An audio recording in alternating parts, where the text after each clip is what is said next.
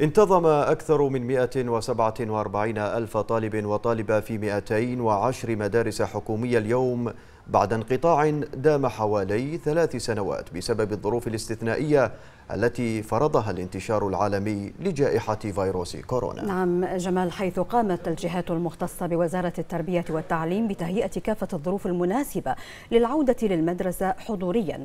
وبهذه المناسبة أشاد سعادة الدكتور ماجد بن علي النعيمي وزير التربية والتعليم بالرعاية الموصولة التي يحظى بها القطاع التعليمي في العهد الزاهر لحضرة صاحب الجلالة الملك حمد بن عيسى الخليفة ملك البلاد المعظم حفظه الله ورعاه والدعم المستمر من صاحب السمو الملكي الأمير سلمان بن حمد الخليفة خليفة ولي العهد رئيس مجلس الوزراء حفظه الله مما مكن الوزارة من تقديم كافة الخدمات التعليمية لجميع المراحل الدراسية والاستمرار في تنفيذ المشاريع التطويرية.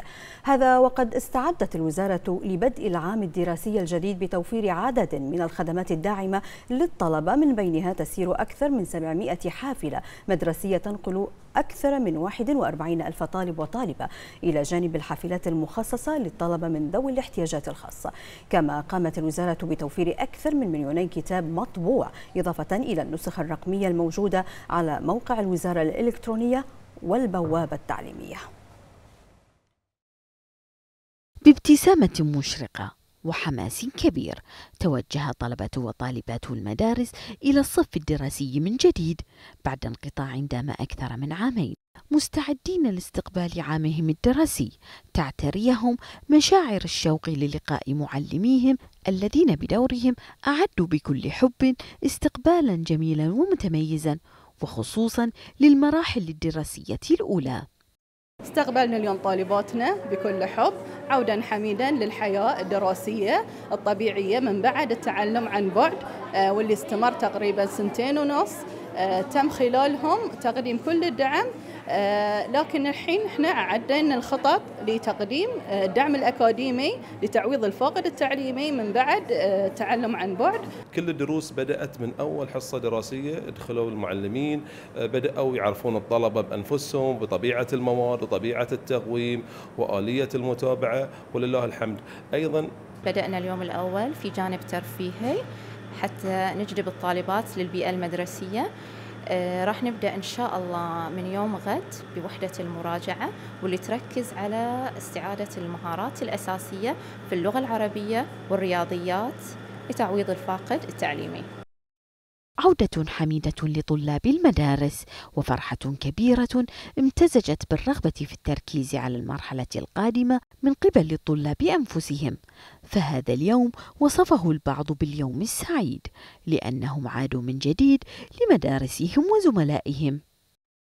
أنا مستانسة حق المدرسة لأن المدرسة وايد حلوة أحبها وايد لأنها أشوف أصدقائي. عشان أصير دكتورة. أنا أول شي في البداية أول ما دشيت المدرسة أحس يعني بشعور وايد حلو حسيت راحة وأحس المدرسة رجعت وبنرد ندرس ودراسة وكل يوم بروح مدرسة واستانست إني شفت ربعي كلهم. وايد متحمسة حق الدراسة بالذات إني أبي أدرس وأجتهد لأن في طموحات أنا بسويها يعني في خاطري إني أسويها وايد. إني مثلا أصير دكتورة أو محامية جنائية. وايد متحمس حد متحمس لأن تعرفين ما طلعنا ما قابلنا ربعنا. أما الحين نقدر نقابل ربعنا كل يوم. وما شاء الله وايد في تعاون بين الأساتذة والطلاب. والحمد لله يعني كل شيء صار على ما يرام يعني.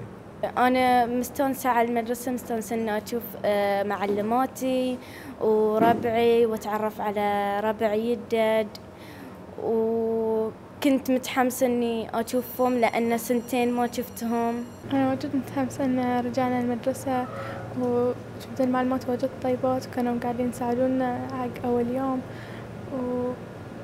وصديقاتي اللي كنت أشوفهم ورا الشاشة الحين شفتهم في الصدق اليوم الأول لعودة الطلاب إلى مقاعد الدراسة استقبلتهم الهيئة التعليمية بالهدايا وقدمت لهم جملة من الأساسيات التي ستعمل عليها خلال المرحلة الحالية لمساعدة الطلبة والطالبات على الجمع بين المعلومات التي تلقوها خلال العامين الماضيين عن بعد وتمهيدا لربطها بالمواد الدراسية الحالية. استعدادا كاملا قامت به مدارس البحرين لاستقبال الطلبة والطالبات بكافة إمكانياتها وطاقتها لاستكمال العملية التعليمية بما يساهم في إيجاد بيئة تعليمية متكاملة تخرج لنا بأجيال متميزة ومبدعة. خولة القرينيس لمركز الأخبار تلفزيون البحرين.